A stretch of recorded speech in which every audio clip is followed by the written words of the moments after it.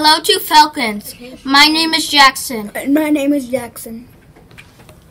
Today is Wednesday, April 3rd, 2024. And now to Jordan. The forecast today is morning snow showers with a high of 39 degrees and a low of 33 degrees. Now let's check in with Jackson for the today's lunch. Today's lunch is super nachos or barbecue sandwich. And now to Jackson for today's birthday. We wish a happy birthday to no one. Have a awesome day. Now.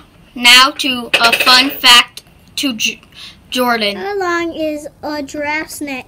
A giraffe's neck is around eight, 1.8 meters long, about the same length as their legs. Even though it is really long, it only has seven bones in it. That's the same number as a human neck. Thanks for watching. Goodbye.